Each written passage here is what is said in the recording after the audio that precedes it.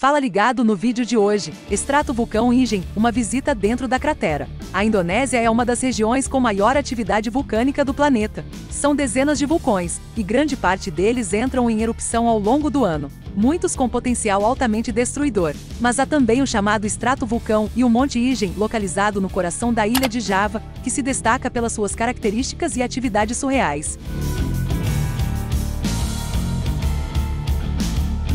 O Igen é um complexo de vulcões que ocupa uma grande caldeira vulcânica, e no centro da cratera existe um grande lago de cor turquesa, o maior lago ácido do mundo, e ele é explorado intensamente para a extração de enxofre e fósforo. O cheiro de enxofre e fósforo saturam o ar, dificultam a respiração e queimam os olhos. A atividade dos mineradores é intensa. Fazem uma trilha de 3 km montanha acima, com cestos pesando até 50 quilos.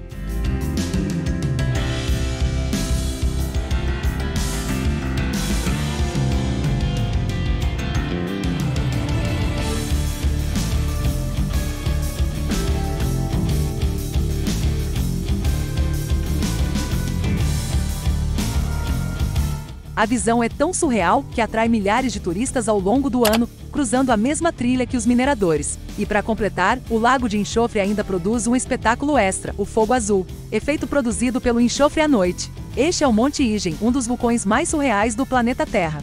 Agora gostaríamos de saber a sua opinião. Você tem medo de que algum supervulcão possa explodir e destruir grande parte da Terra? Deixe o seu comentário abaixo. Se você gostou deste conteúdo, inscreva-se no canal, deixe o seu like, ative o sininho de notificações e, se possível, contribua através do nosso Pix ou link de doações na descrição. Um abraço e até o próximo vídeo.